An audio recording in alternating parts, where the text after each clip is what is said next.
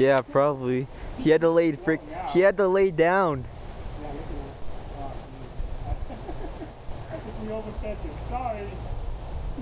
You done?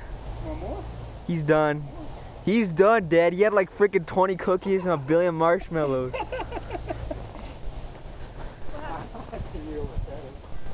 Bye bye, dear.